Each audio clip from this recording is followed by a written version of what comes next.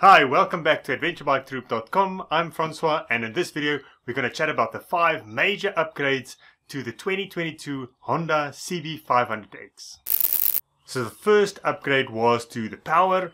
Now they didn't change the engine. Uh, the engine already delivers the maximum power uh, 47 horsepower that's allowed for the A2 license type in Europe. So they didn't increase the power, but they did remap the fuel injection for more low-end grunt. And that means it's supposed to be more rideable, especially for beginner riders and for off-road riding. Number two, the suspension. Now this is probably the biggest upgrade. The previous model, the 2021 and older models had normal traditional telescopic forks. I think the only adjustment was the preload. Now in 2022 they have that golden Showa separate function big piston upside down forks. Now these new forks have the pressure separation damper in the one leg and the spring mechanism in the other and what this is supposed to do on these 41 millimeter big piston forks is to improve improve the reaction and ride quality, um, and that is according to the press release. We'll have to see when we get the bike uh, for a test ride. And then the five-stage preload adjustable rear shock has been adjusted to match the upgraded front forks. Number three, the brakes. In the front, they replaced the old 310 millimeter single disc with dual 296 millimeter discs uh, that is axially mounted and each have two pot uh, or two piston calipers. So that will improve the braking considerably, obviously with ABS as standard. Number four, they fitted a lighter swing arm that's almost a kilogram lighter. It has 18% more lateral flex and torsional stiffness.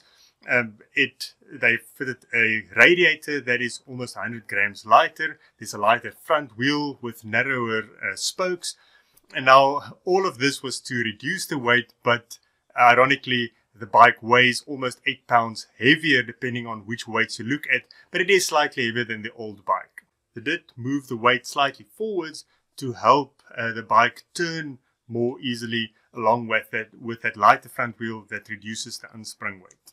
And then number five, they fitted more powerful LED headlamps and uh, LED indicators in the front.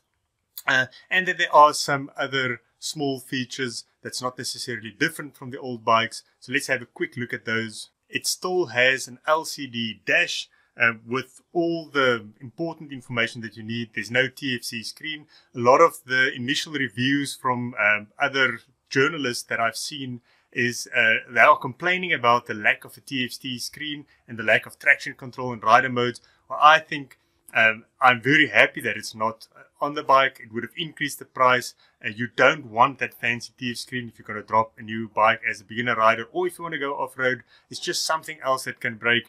Um, this LCD screen offers more than enough information. It's easy to use. So then the center stand is an optional extra. That's a pity. Uh, they've got a six stage span adjustable brake lever. That's quite nice.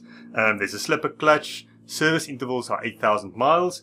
Um, and yes, that's about it for the major upgrades on the Honda CB500X. If you have ridden this bike or if you've owned any of the older CB500Xs, please comment below. Let me know what you like about the bike. Thank you for joining for this short little video and I'll see you next week. Cheers.